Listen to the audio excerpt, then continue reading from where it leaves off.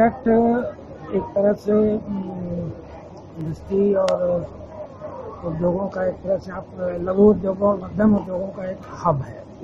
खासतौर से sports goods को लेकर और मुख्य ट्रैक पर न होने की वजह से मेरठ के लिए ज़रूरी थी कि कम से कम यहाँ के लिए कुछ ट्रेन और कुछ मालगाड़ियाँ या कुछ उस तरह के, की व्यवस्था करनी चाहिए थी। रेल बजट अब पूर्वांचल के लिए मेरठ से सीधे कोई ट्रेन नहीं है।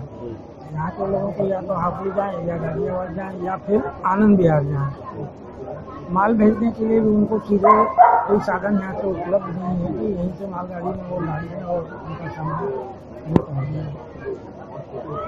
ट्रैक और रेलगाड़ियों की जो संख्या है, उसके हिसाब से मैं तो ये कहूँगा कि जो ट्रेनें अभी अगर उन्होंने नहीं बढ़ाई हैं बजट में तो जो ट्रेनें हैं, उनको ही कम से कम समय पर ले आए।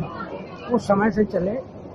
दूसरी चीज़ की ट्रैक का जो मेंटेनेंस है, उसको बढ़िया करके ट्रेनों का अगर टाइमिंग बढ़ा दें स्पीड बढ़ा दें तो काफ़ी कुछ उसमें राहत मिलेगी। रेल को फ़ायदा भी होगा।